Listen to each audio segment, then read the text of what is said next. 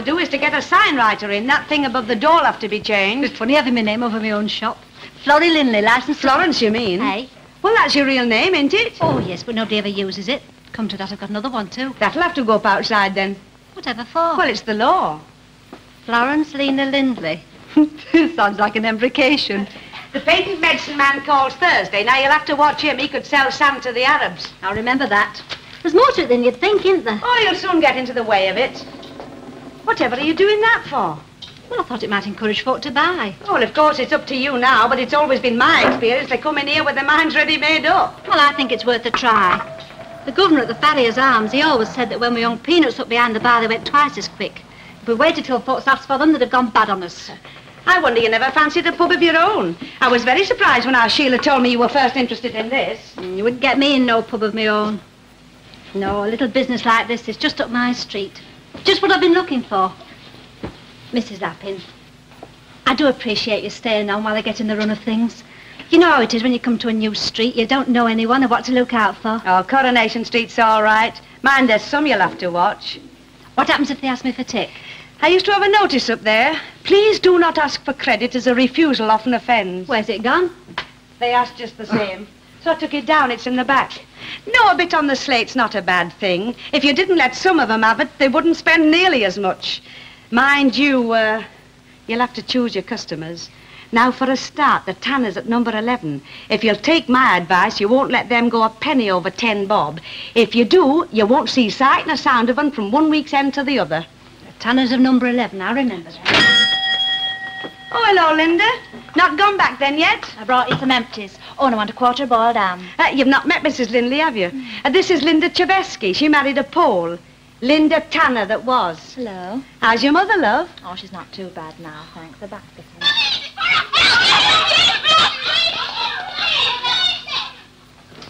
Come on, Dennis Tanner, where is it? Where's what? Don't come innocent with me. You know as well as I do. I Don't know what you're talking about. Two bob gone out of my purse. That's what I'm talking about. Well, what are you looking at me for? It's nothing to do with me. Oh, and I suppose some Mayfair cat burglar called in and nicked it. Funny, yeah? Now, look. Let's get this straight. Not an hour ago, you asked me for two bob for cigarettes. And you wouldn't give it me, we know. So you stooped to going in a lady's handbag. Just listen it. A lady, is that what you crack on you are these days? Fine son, a fine son you are. That tongue of yours will get you on one of these oh, days. Oh, give over. Luke, you've lost two, Bob. I don't know where it is. What am I supposed to do about it? Get work, get work. That's what you're supposed to do about it. Change record, will you? Did you go down to the Labour today? I'm not due till tomorrow. You know what your trouble is, don't you? You just don't want work. Did you bother to look through the adverts in the newspapers? What papers? We only get the one in the morning. There's nothing in that, you know there isn't. Oh, you could have gone down to the reading room, couldn't you? Here am I, working myself to death, and you can't even stir yourself to go and look through a newspaper. What sort of job would they have for me? There's plenty of jobs for them that take the trouble to look for them. Yeah, and they ask you what experience you've had. Well, you've had experience. Not the right kind, though. Just drop it. No, I won't. It's the same every time. Luke! You know as well as I do why I can't get a job. Been out of that place seven weeks now. Oh, don't. Let's wrap it up. If you mean prison, say it. Everyone else does. You can't go on like this. Well, what am I supposed to do? Just tell me that. Oh, why had it to be me that I'd have a son like you? Suppose you'd rather have me like Kenneth Barlow at number three. And what's wrong with him? Let me tell you something. He'll have no trouble getting a job because he's got it up here, in the upper story, and that's where it counts. I sometimes wish we were more like them Barlows. At least they're not rowing all the time.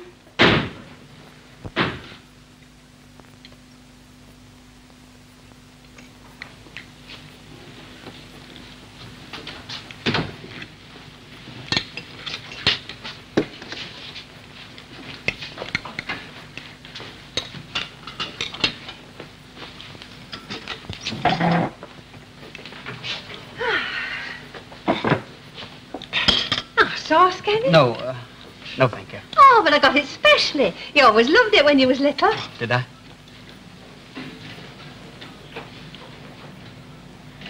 What's up? Nothing. What's that snooty expression for, then? Oh, what's Snooty expression? That new pullover's turned out a treat. Mind you, I'll not knit you another one in that colour, though. Navy blue plays the devil with my eyes. Oh, no. Don't they do this at college, then? I bet they don't eat in the shirt sleeves either. Oh, what do you mean? Oh, I've been noticing you looking at me. I don't know what you're talking about. Oh, yes, you do. We're not good enough Look, for I you. never said a word and he starts. Look, Dad, can't we have one meal in peace for a change? Now, you know he doesn't like to hear you call me Daddy. It's common. Oh, give over the pair of you. My back's at it against something awful. Ah, that's what comes of doing that rotten job of yours. I bet you don't tell your high and mighty pals that, eh, Ken? What? Where your mother works. Well, it's no secret. She worked in a hotel kitchen. If anyone asks me, of course I'd tell them. What's got into you, Frank? You're edgy enough for six. What's up with you then? Go on, blame me. I would. It's him. Why do we have to have the bread ready buttered? Hey? Well, he said that yesterday. And then again tonight. Why do we have to have cups of tea with our food? Well, I'll tell you for why. I like my food swilled down properly, that's why. you better watch out, Ida. You'll be having to change into evening gown to eat your meals next. Huh? Look at that clock. Wherever can David have got to? Huh. Uh, did you go into town this afternoon? Yes. Oh, uh, I got a record. One I'd like. You might, I'm not sure. Oh, well, you know me. I've always been one for a bit of good music. We'll put it on when we've washed up and your dad's on his sleep. Huh. Oh, if David doesn't hurry, that chop of his will have gone bone dry in the oven. Oh, by the way, uh, I should be going out later on. Oh, you... Are you meeting a girl? Yes. Oh. It's uh, just a girl who's in my year. The one you have the letter from this morning? Mm. Does she come from round here? Not far away, other side of town. Will you be going over to their place then? No, uh, just into town. Whereabouts are you meeting her? The Imperial. Oh. Where? The Imperial Hotel. Now listen here, Squire. You best make up your mind to it because you're not going throwing no money away at no Imperial Hotel. What do you mean, no Imperial Hotel? I mean what I'm saying. Don't you come correcting me. Look, I'm not asking you for any money. Oh, yes, you've got the money, but where did it come from? Frank, do we have to go through all Now this? look, Ada, I'm not having you working in those stinking kitchens at the Imperial for him to go chucking money back at places that are big growing trees. It's downright wicked, that's what it is. Well, he won't be going spending much, will you, love? You can make up your mind to it, and you're not going at all.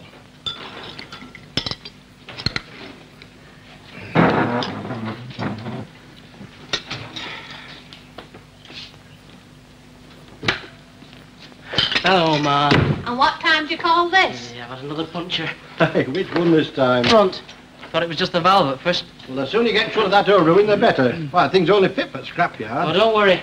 That's just where it's going the minute I've got enough for deposit. Deposit? What on? What do you think on? A motorbike, of course. Over my dead body.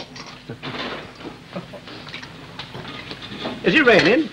Well, I was a minute or two ago. Just stopped. Oh, well, I'll go and have a look at this bike of yours. Oh, it's all right, Dad. I'll see to it. Well, where's your puncture outfit? It's in my saddlebag, but I told you I'll see to it.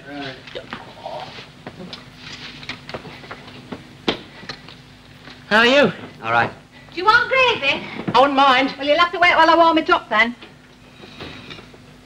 Something up, Ken. Oh, no, just had a bit of a set, too. What about this time? Well, uh, let out I'm supposed to meet a girl at the Imperial Hotel. Oh, like. You can imagine what that started. Hello,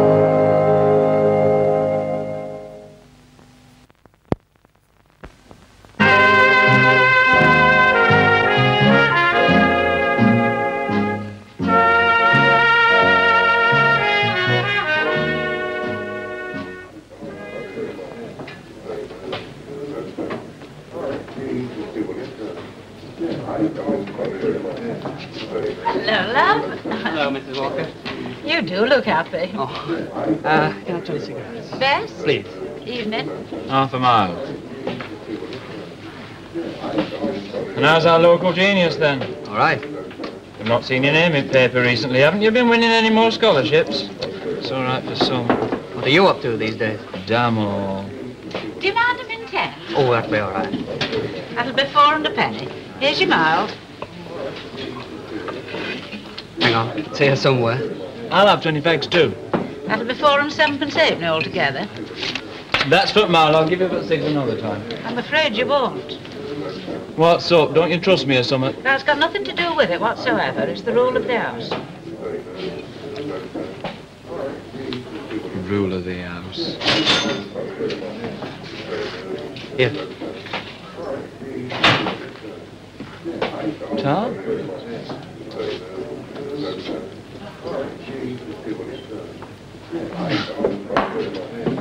Well, it's government's money really, isn't it? See ya.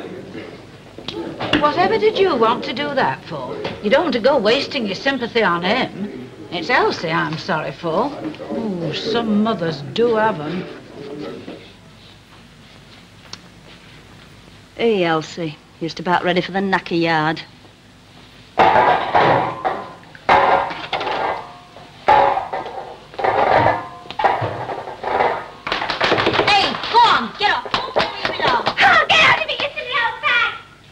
Did you say Christine Farrer? Where did I see your mother? Kids. I'm sick to death of them clattering about in my back in. There's nowhere else for them to play. Well, the council should do something about it. Wouldn't go saying that too loud if I were you. They might turn this into a play street, and then where'd you be? Oh, there's your ham. Oh, how much do I owe you? Nothing. Oh, don't be so daft. Where's my purse? No, I mean it. You don't owe me anything. I took two bob out your purse before I went. Oh, well. What's wrong? Talk about give a dog a bad name. I have just wrongly accused your little brother.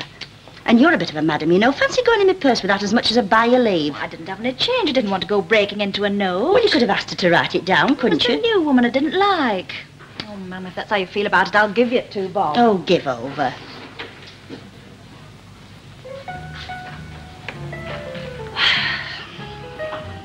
Oh, Linda. I know what we're going to do. What about? Our kid? How much has he done about getting a job? I mean, has he been near prisoner's aid yet? You know, three of us can't manage on what I earn. Do you mean? Three of us, I'm only here for the week. Are you? Well, yes. Come on. Out with it.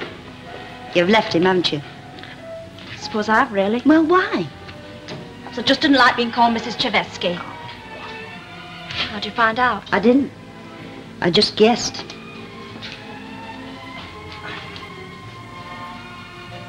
Well, what happened? He had a bust up. Well, what over? Oh, I don't know. We've had that many recently, we never stop having them. Is that moody. Oh, well, foreigners are. Are you sure that's all it is? That's all. You haven't been doing anything you shouldn't, have you? What do you mean? Oh, well, you're not a kid anymore. It's no secret round here why your dad left me. Well, it's me that's done the leaving this time. I've left Ivan. I'm not going back And now. what are you going to do? Get a job, I suppose. Oh, and where will you live? I can't go back, Mum, I can't. You don't know what he's like when he gets one of his moods on him. You're frightened what he might do. Are you really set on this? Oh, well. You know you're welcome here if you want to stay. But try and get on a bit with our Dennis. For all I go at him, he's not had it easy, you know. What about your clothes? Did you bring things? Most of them. Oh, now we know what that dirty great suitcase was in here of. You'll have to get a job, you know that, don't you? Anything going at your place? Mm, not in our department. A couple of girls left in millinery the other day. I'll look into that tomorrow. Well, I suppose we have to be grateful for small mercies. At least the ham's not off.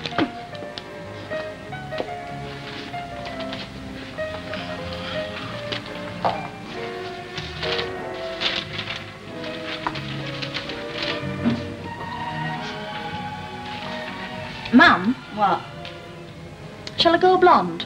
Well, why ask me? If you want to go blonde, blonde, you'll go blonde. You know that.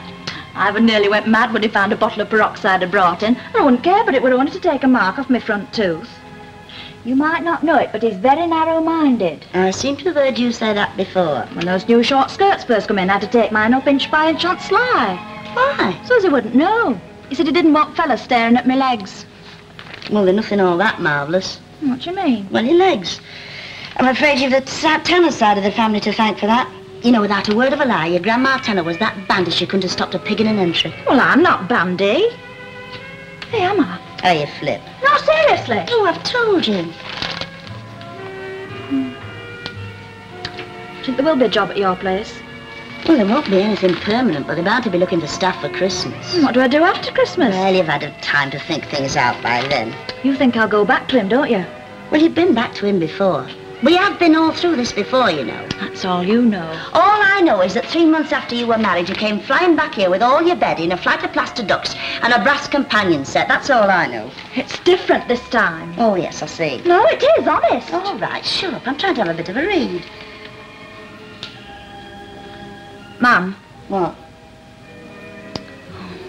nothing doesn't matter. Well, what? Nothing. You get on with your reading. It said it doesn't matter. What do you think to that new woman? One at shop. Mm. Doesn't seem to have much to say for herself. Whatever made you think of retiring to North End? It's a bit bleak there, isn't it? Oh, you wouldn't say that if you saw the residential part. Hey, it's the last word. And then another thing, the property is architect designed. Me, I never could take to a bungalow. How do you mean? Well, not going upstairs to bed. Seems all wrong somehow. Still, I'll bet it set you back a bob or two just the same. No one can say that I haven't worked for it. Have you brought any tea with you? Oh, no, I used the last this morning. It seemed daft by Mo when I was coming to old shop full. Well, pass us a packet and I'll go and put kettle on. You'll be all right on your own. They won't eat you, you know.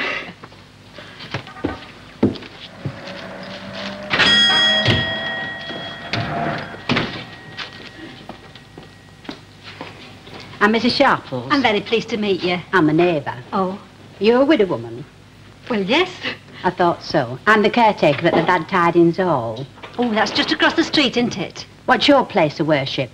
I don't really do much about it. Oh, I know. C of E. Oh, I wouldn't say Oh, it's like my really. sister's husband. You know, he was made head of the plumbing where they live, and it gave her ideas. She said we're civic dignitaries now. We must head for church. Within a week, they were received, christened, and confirmed. and Within a fortnight, she was sitting up all night, sewing surplices. I'll take a packet of baking powder.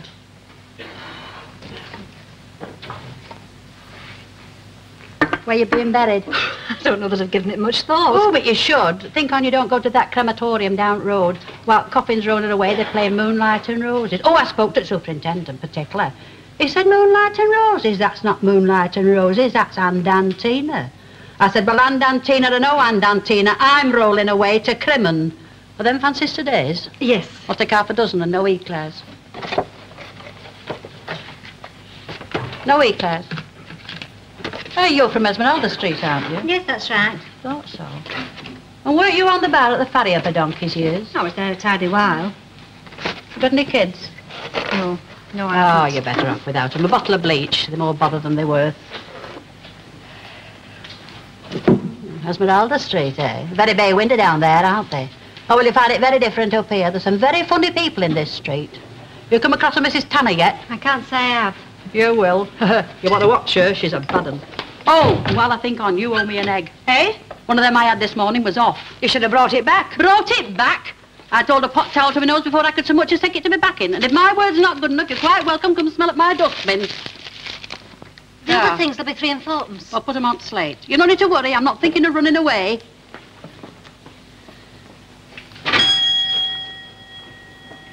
She morbid.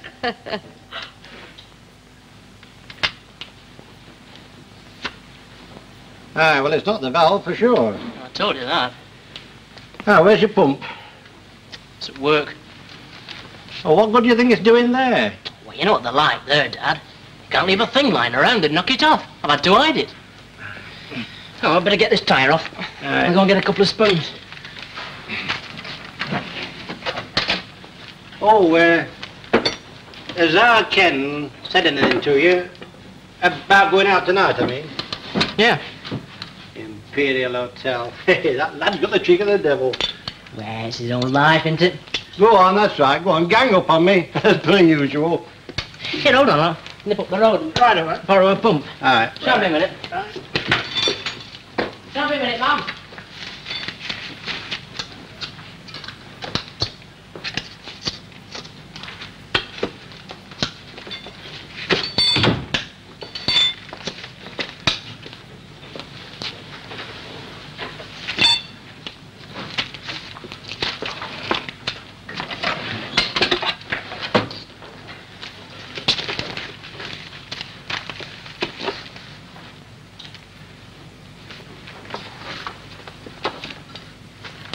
All right, then go on, blame me then. Nobody's blaming anybody. Where's our Ken? He's next door in Mr. Tatlock's. He spends more time in old Daddy Tatlock than he does in here. You leave him alone. Mr. Tatlock's all right, Mr. Tatlock is. Look, love, how can I say to the lad now? All right, Ken, you can go. He made me look a proper fool, and well, he won't think any better of me for it. Well, suppose he goes whether or no. What sort of fool are you going to look then? Well, that lad should learn to live in his own class. Silk tie, 16 shillings a time. That doesn't come out of his grant, and you can't tell me it does. No, I'll tell you straight, it doesn't. I bought it for him, and he never asked me. I'm no martyr, Frank, much as you'd like to think it. I just want him to have the chance, and he's going to have the best chance I can give him. Hey, we certainly raised a rum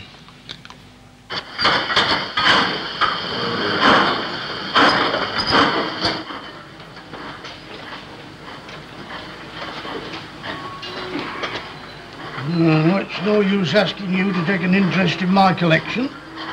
But if I didn't have these and the Choral Society, there'd be no for me but to go down to that reading room with all the other old ruins. Hey, I was down changing my library book the other day and I popped in for a minute. Had to come out. Got up top of me. Nope, but snuffling and turning pages over. I felt like shouting out, get yourselves over here, you'll all be dead inside 12 months. Oh, Ken, have you, have you seen these new labels? And mine Esther got them typed for me. Yes, she told me. You're very quiet. Sorry, I, I was just thinking about something. Hmm, something wrong? No. Well, not really. Is it, um, is it anything to do with this business at the Imperial Hotel? Well, who told you? Your mother. Bit of a mess, isn't it? Hmm. What are you going to do about it? Well, I've got to go. There was a number to ring if I couldn't, but Susan's bound to have left by now. Oh, that's her name then, eh? Susan. Yes, Susan Cunningham. I see. And is she a sort of special kind of friend? No, not particularly. Just a girl who happens to be in my year. I see. Well, of course, mark you, this is only an idea, but um, couldn't you go down into town and collect her and then bring her back here? I think that would please your mother. No, uh, it's no good. I couldn't. Oh, well, you know best. No, I, I just couldn't. You wouldn't understand. Oh, Thank you. No, it's just that. Well, Coronation Street. Oh, what's wrong with Coronation Street? I've never heard you talking that way before. Well, I never pretended to sue, or anybody for that matter, that I came from anywhere else, but. Well, I, I just don't fancy the idea of her actually seeing it. Oh, Well, it has its good points. I mean, take Ena Sharples. Now, I reckon your friend would lap her up. My place of worship is the Rover's Return, and I'll swap brown ale for me and book any day. you see? oh, yeah, but it's all right talking about it, but I don't want to come in up here. You know, I never thought the day had come when I'd have to say this, but I reckon that that college has turned you into a proper stuck-up little snob, Kenneth Barlow. Oh, that's not true. Isn't? No, I I just haven't explained myself properly. I mean... I, is that somebody at my back I door? think so. Hello? Oh, hello, Ida. Come in, love. Oh, Mr. Tatlock, is our Ken there? Aye, come in. Oh, thank you. Oh, there you are, love. There's a young lady come for you. It's that friend of yours, the one you were supposed to meet in town. That, that's Susan Cunningham. Oh, Oh, Mr. Tatlock.